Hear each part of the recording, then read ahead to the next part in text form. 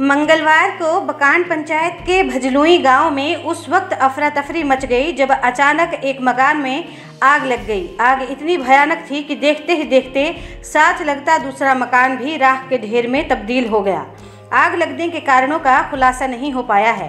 बहरहाल short circuit को ही आग लगने का कारण माना जा रहा है। बताया जा रहा है कि इलाके में पानी की किल्लत की वजह से आगजनी की घटना पर काबू नहीं पाया जा सका। यदि इलाके में पानी का संकट नहीं होता तो आग लगने पर तुरंत ग्रामीण अपने हिसाब से आग पर काबू पा सकते थे।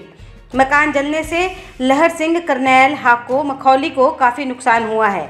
एसपी चंबा, एस अरुण कुमार ने हादसे की पुष्टि करते हुए बताया कि भजलुई में आग लगने के कारण मकान जलने से काफ़ी नुकसान हुआ है।